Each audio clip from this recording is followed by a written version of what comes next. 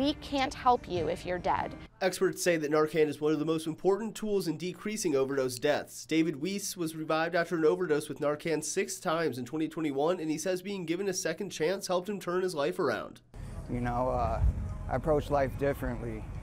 Uh, I can talk to people and actually explain to them, you know, I have the experience and I get what they're going through, you know.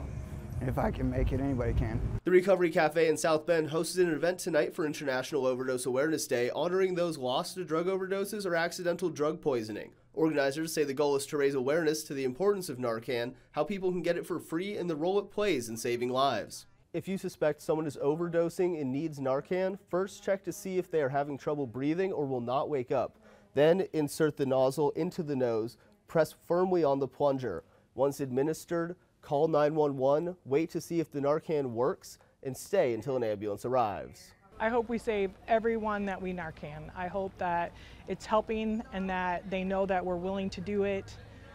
It's, it's, a, it's an amazing tool to keep in our toolbox, is what it is. Narcan's an amazing tool to keep in our toolbox and to give someone else another chance. Experts say that the increased availability of Narcan is just one factor to decreasing overdose deaths people being willing to share their stories. You see community advocates all across the state doing an excellent job talking about this, saying, I was Narcan, or saying, this is my story. And so they're willing to be open and share that. And I think that is what's giving hope to many people to continue the fight.